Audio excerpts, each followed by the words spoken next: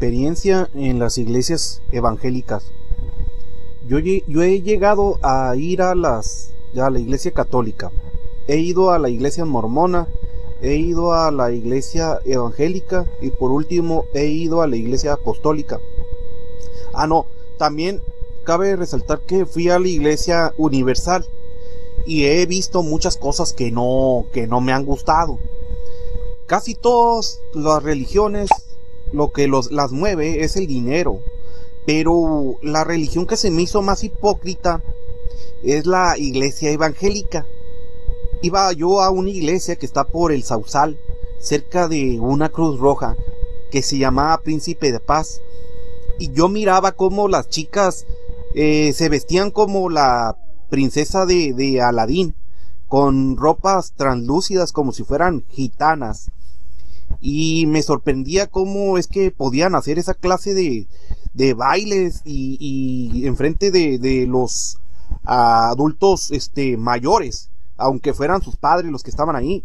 Y me tocó ver que el pastor de ahí siempre andaba hablando evangelios de la prosperidad de que hasta ahora sé el término que utilizan estos evangélicos este que piden dinero y dinero y dice, hermanos en Cristo, y que gracias por mantenerme a mí, gracias a ustedes no tengo que trabajar, hermanos, gracias a ustedes ya se pudo reparar el techo, ya se pudieron comprar instrumentos. Y sobre todo, gracias por mantenerme, hermanos, y todos los hermanos, aleluya, hermano, aleluya, bravo, bravo, bravo, y todos, y yo nomás miraba que hablaban de dinero y dinero, y pues yo llegué a ir varias veces, estuve a punto de bautizarme, pero la pensaba, porque yo no quería ser hipócrita. Yo me acercaba a las chicas de esta congregación, las chicas no me hablaban, me rechazaban.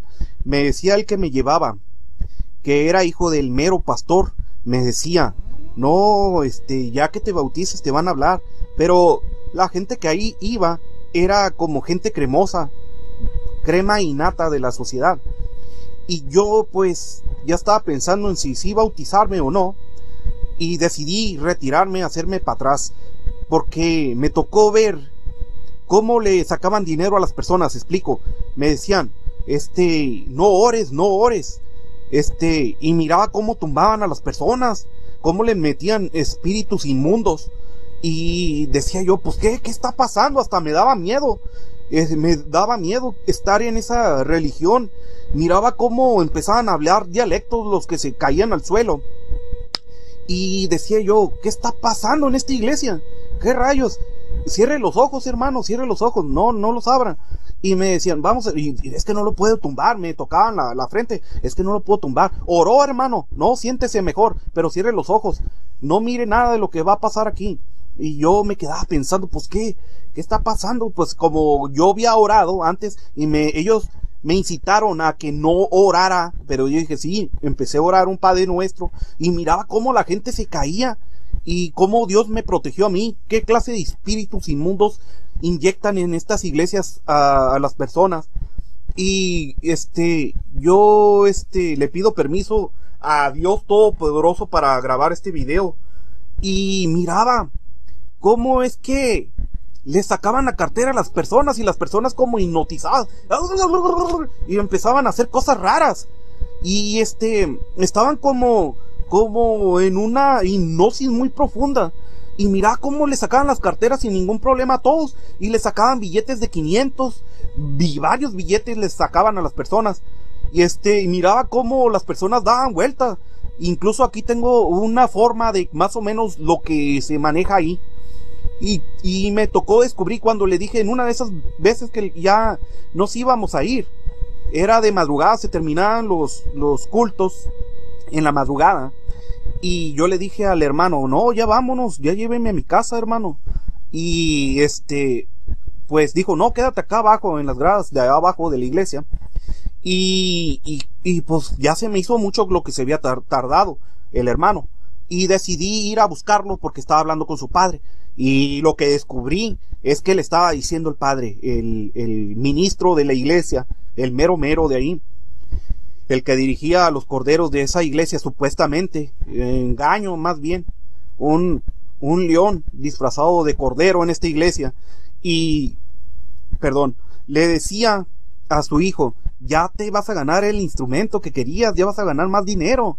Porque entre más almas traigas y más gente traigas aquí, este más vamos a ganar, entre más si aquella familia se bautiza, porque ya se van a bautizar, ya tienen fecha de bautizo, y si el muchacho morenito ese que trajiste se bautiza, vas a ganar más dinero para tus instrumentos, ¿eh? ¿Cómo la ves? Vas a ganar intereses. Entre más personas me traigas, más dinero vas a ganar. Y ay, cara, casi me caigo y casi me descubren. Este, pensé que me, no, me fui a escondidas y me decían los hermanos, no, hermano, ahorita espérelo acá, no, no, no suba. Dijo, ah, sí, sí, sí. No, es que voy al baño, les dije. No me descubrieron. Lo bueno que eh, subí como como en silencio y este fui como si fuera un ninja a esa parte y nadie me miró porque todos estaban distraídos. Este utilicé el sigilo como en Metal Gear y resulta que descubrí esa clase de cosas y pues yo me lo guardé en mi corazón, pero ahora lo saco con ustedes, hermanos a todos esos no caigan en estas clases de iglesia o sectas. También cuando fui a la iglesia universal, cada oración ponen un bolso y que supuestamente utilizan hechicería ahí para curar a la gente que están tomando el santo manto y que agua del Jordán y que no sé qué y que el arca y que hacen rituales, miré, y cada rato este ponen una bolsa ahí que que les eches dinero cada oración y la gente da un montón de dinero, mucho dinero, digo yo, que me lo regalaran a mí. Esas son las cuestiones que vi en las iglesias. Son una bola de hipócritas que solo buscan tu dinero nomás. Tengan cuidado y mucho ojo. Y luego aparte inyectan espíritus, le avientan espíritus a la gente en el fuego de, de Dios. ¿Cuál fuego de Dios? Dios no creo que actúe de esa manera en las personas. Bueno, les traigo la verdad a ustedes. Ustedes tienen la última palabra. Tú decides si creerme o no. Tú cree lo que quieras creer.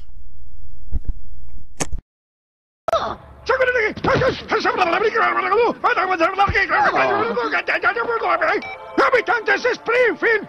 ¡Escuchen! ¡Cola retorcida! ¡Mil ojos! ¡Atrapados para siempre!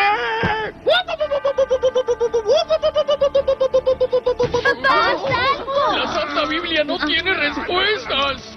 ¡Cuidado! ¡Cuidado! ¡El tiempo es corto! ¡Epa! ¡Epa! ¡Epa! ¡Créanme! ¡Créanme!